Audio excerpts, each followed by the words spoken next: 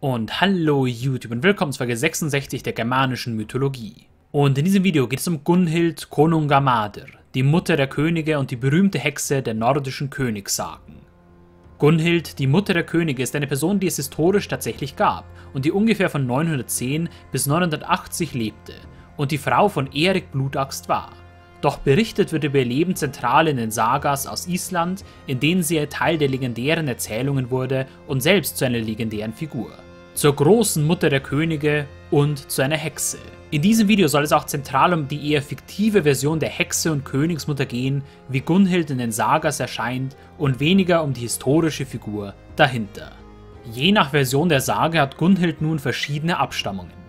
Die Version, die als historisch am wahrscheinlichsten und realistischsten gilt, ist, dass Gunhild die Tochter von Gorm dem Alten, dem König von Dänemark ist. Gemäß dieser traf sie dann bei einem Festmahl auf Erik Blutaxt, einem norwegischen Fürsten, und wurde mit diesem verheiratet, um die Königshäuser von Dänemark und Norwegen zu vereinen.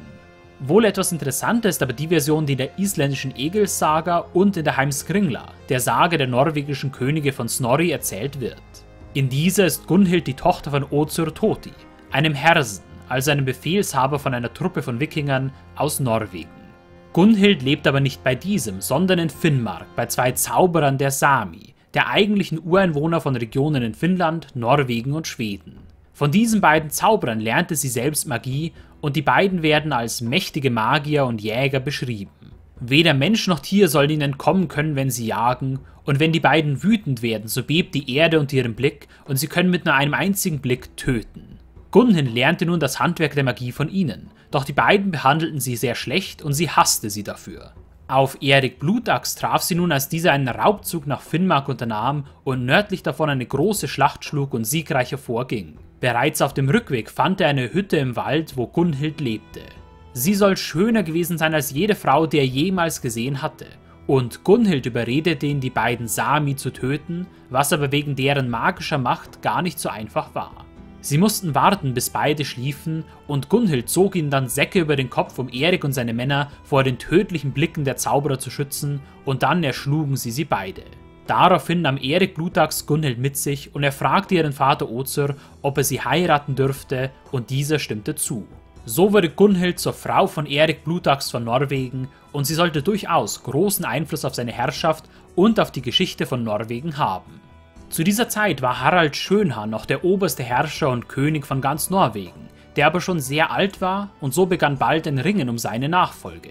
Einer der Rivalen von Erik war dabei dessen Halbbruder Halfdan der Schwarze, der aber bald darauf plötzlich nach einem Festmahl verstarb und es heißt, dass Gunhild dafür gesorgt hatte, dass er vergiftet worden war.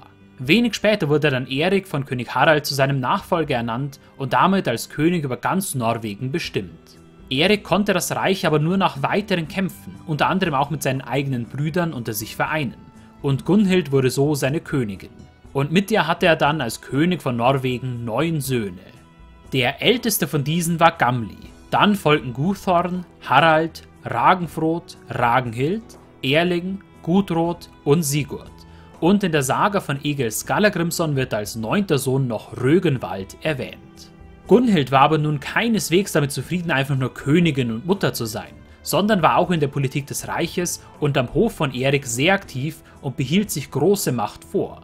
Während dieser Zeit entwickelte sich auch eine tödliche und langwährende Feindschaft zwischen Gunhild und einem weiteren Helden der isländischen Sagas, dem Krieger und Poeten Egil Skallagrimson. Zu Anfang aber war ihre Beziehung eigentlich noch recht gut, denn Egils älterer Bruder Thorolf war ein Waffengefährte von Erik und sowohl mit ihm wie auch mit Gunhild gut befreundet. Dann aber kam es während eines Festmahls zu einem folgenschweren Vorfall. Egil geriet mit Bart, einem Freund und Unterstützer von Gunhild, in Streit. Er beleidigte diesen und Bart ging daraufhin zu Gunhild und sie mischte Gift in Egils nächstes Horn. Egil aber war in Magie ebenso bewandert wie Gunhild und er ritzte Runen in das Horn und das Horn zersprang, weil Gift darin war. Daraufhin zog Egil sein Schwert und tötete Bart für den Versuch auf sein Leben und ergriff dann die Flucht. Er konnte letztlich auch entkommen, doch sein Bruder Thoralf ging zu König Erik und bot ihm Wehrgeld für die Taten von Egil an und der König nahm diese Sühne an. Doch Gunhild vergaß die Taten von Egil Skallagrimson nicht. Sie versuchte Erik dazu zu bringen, härter gegen Egil vorzugehen, und als dieser das nicht tun wollte, schickte Gunhild ihre beiden Brüder, Eivit und Alf aus, um Egil zu ermorden. Die beiden aber versagten letztlich und wurden ihrerseits von Egil erschlagen. Zu dieser Zeit war es dann auch, dass Erik König von Norwegen wurde und unter Gunhilds weiterem Einfluss erklärte er nun doch Egil in ganz Norwegen zum Gesetzlosen und Geächteten. Dies führte zu weiteren Konflikten mit Egil, der inzwischen Berg Önund, einen weiteren wichtigen Krieger von Erik, getötet hatte und sogar letzten Endes Gunhilds Sohn Rögenwald erschlug. Und noch bevor Egil dann Norwegen verließ, nutzte er erneut seine Magie gegen Erik und Gunhild. Er stellte eine Schmähstange auf, die einen Pferdeschädel trug und auf die er Runen ritzte. Diese Schmähstange sollte die Landgeister gegen Erik und Gunhild aufhetzen und diese sollten dann die beiden aus Norwegen vertreiben. Und tatsächlich, wenig später kam Hakon der Gute, Eriks Halbbruder, zurück nach Norwegen und erhob dort Anspruch auf den Thron. Erik sammelte nun sogleich Truppen gegen ihn, aber er konnte nicht viele Männer aufbringen, die ihm noch folgen wollten, und Hakon war deutlich beliebter als er. Und am Ende wurden Erik und Gunhild und ihre Söhne aus Norwegen vertrieben. Eine Tat, für die durchaus auch Egil mit seiner Schmähstange Ruhm beanspruchte, obwohl es ja eigentlich Hakon der Gute gewesen war, der sie vertrieb. Gunhild aber sprach auch ihrerseits seinen Zauber gegen Egil. Sie verfluchte ihn für seine Tat, dass er in seiner Heimat Island niemals Ruhe haben sollte, bis er wieder zu ihr kam. Durch diesen Fluch von Gunhild erfuhr Egil viel Unglück, Ruhelosigkeit und Mühsal, und er wurde missmutiger und verdrossener, Jahr für Jahr, Winter für Winter, und er verfiel regelrecht in eine Depression, bis er es nicht mehr ertragen konnte und sich am Ende aufmachte, wieder zu Erik und Gunhild zu segeln. Erik war inzwischen auf Orkney gelandet und hatte dort den Thron bestiegen und durch seine Verbindungen zu König Ethelstein von Northumbria konnte er nach dessen Tod dort auch die Herrschaft erlangen. Dort herrschten sie von York aus und sowohl Erik wie auch Gunhild und ihre Söhne wurden alle getauft und bekehrten sich zum Christentum. Und dort war es auch, dass Egil Skallagrimson sie wieder aufsuchte. Gunhild wollte ihn sofort hinrichten lassen, doch es wurde entschieden, dass Egil zumindest eine Chance auf Buße erhalten sollte. Wenn er es als großer Krieger und Poet schaffen würde, ein ausreichend gutes Loblied auf Erik zu schreiben, würde er freigelassen werden. Die Bedingung war aber, dass er nur eine einzige Nacht Zeit hatte, dieses Lied zu schreiben, und wenn er es nicht schaffen sollte, würde er hingerichtet werden. Die ganze Nacht arbeitete Egil nun an seinem Gedicht, doch er schaffte es kaum etwas zu schreiben, denn eine Schwalbe saß die gesamte Nacht vor seinem Fenster und schrie so laut sie konnte, um ihn abzulenken und seine Arbeit zu erschweren. Und diese Schwalbe war niemand anders als Gunhild, die sich in einen Vogel verwandelt hatte, um Egils Arbeit zu stören. Dennoch schaffte er es aber in letzter Minute das Werk fertigzustellen und Egils Gedicht wurde auch für gut befunden und ihm wurde damit das Leben und die Freiheit geschenkt. Und es sollte noch mehr auf Gunhild zukommen, denn einige Zeit später sollte Erik im Kampf fallen und sie verloren ihr Reich in England. Die Königin sammelte sogleich alle Reichtümer und sie und ihre Söhne kehrten nach Orkney zurück und für eine Weile herrschten sie von dort. Als Gunhild aber hörte, dass König Harald von Dänemark im Streit mit Hakon dem Guten von Norwegen lag, machte sie sich sogleich mit ihren Söhnen auf nach Dänemark, denn noch immer hatte sie viel Hass auf Hakon, da er sie und Erik aus Norwegen vertrieben hatte und nun hoffte sie auf Rache. Am Hof von Dänemark wurden sie dann auch gut aufgenommen und einer der Söhne von Gunhild wurde sogar zum Ziehsohn von König Harald und sie machten sich bald auf in den Kampf gegen Hakon. Doch hinter ihnen stand stets ihre Mutter und sie mischte sich erneut stark ein. Und nicht zuletzt nutzte sie auch erneut ihre Magie, um Hakon den Guten zu beseitigen. Sie schickte einen ihrer Diener in die Schlacht, der rief, dass er der Töter des Königs sein würde, und dieser schoss dann einen Pfeil auf König Hakon ab und traf ihn am Arm.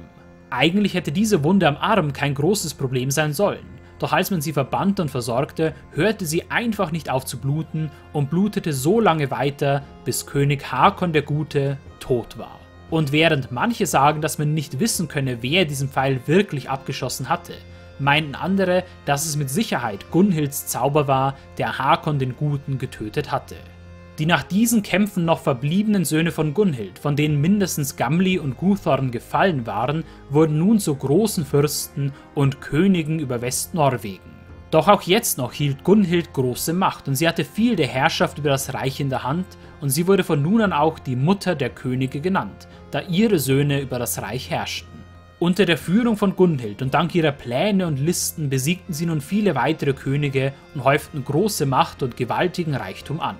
Da sie aber nach wie vor Christen waren, versuchten sie auch Norwegen zu bekehren und sie zerstörten Tempel und stoppten Rituale. Doch damit hatten sie keinen Erfolg in Norwegen und wurden sehr unbeliebt und viele vermissten Hakon den Guten. Und am Ende konnten Gunhild und ihre Söhne gegen Jarl Hakon kein ausreichend großes Heer aufbringen und so mussten sie erneut aus Norwegen fliehen und wieder führte Gunhild ihre Söhne nach Orkney. Dort blieben sie für eine Weile und Gunhilds Söhne führten Raubzüge gegen Jarl Hakon. Aber von all ihren Söhnen waren nur noch Ragenfrot und Gutrot am Leben und es sollte Gunhild auch nicht mehr gelingen, ihre Macht von neuem aufzubauen.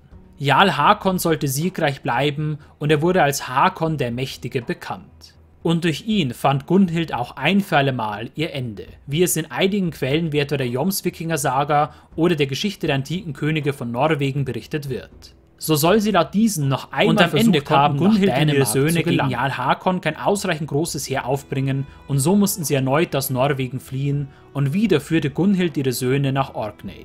Dort blieben sie für eine Weile und Gunhilds Söhne führten Raubzüge gegen Jarl Hakon.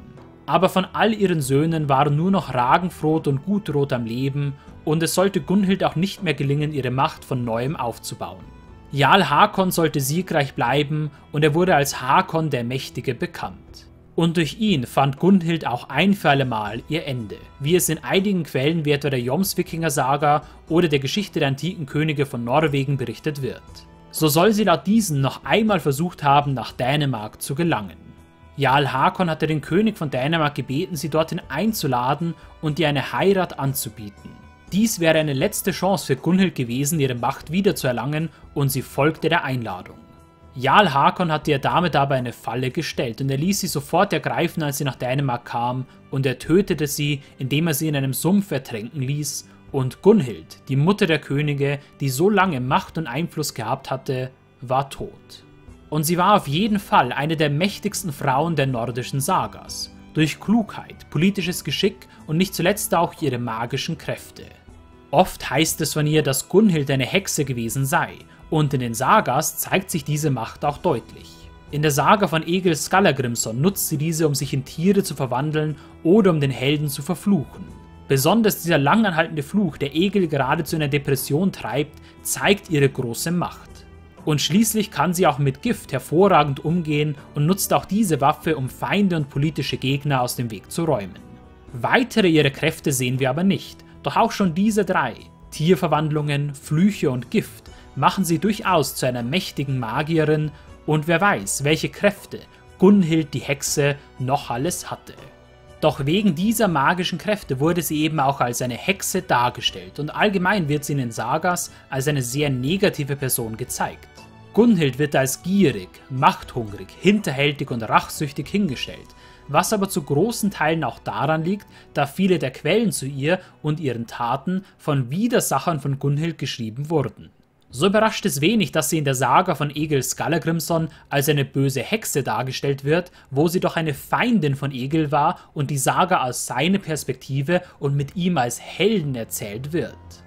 Zudem wird vermutet, dass Gunhild genau deshalb so negativ erscheint, damit das Versagen von Erik Blutaxt und dessen Unbeliebtheit auf sie und ihren bösen Einfluss geschoben werden kann. Und so wird das Böse von Gunhild, der Mutter der Könige in den Sagas, wohl deutlich übertrieben. Historisch ließ uns Gunhild aber auch ein sehr interessantes Stück Literatur zurück, und zwar das beeindruckende Sterbegedicht für ihren Mann Erik Blutaxt. Nach seinem Tod in der Schlacht ließ sie von einem Skalden eine Totenklage für König Erik Blutaxt schreiben, die seinen heroischen Einzug nach Valhalla beschreibt, wie man ihn sich noch im 10. Jahrhundert im späten Heidentum vorstellte. So ist es dank Gunhild, dass uns eine wichtige Vorstellung zu Valhalla im 10. Jahrhundert noch überliefert wurde. Und ganz egal, ob Gunhild nun tatsächlich so böse war und eine Hexe, wie sie in den Sagas oft gezeigt wird, sie war auf jeden Fall die Mutter der Könige und als starke Königin, wie auch als mächtige Zauberin, eine der mächtigsten Frauen der nordischen Sagenwelt.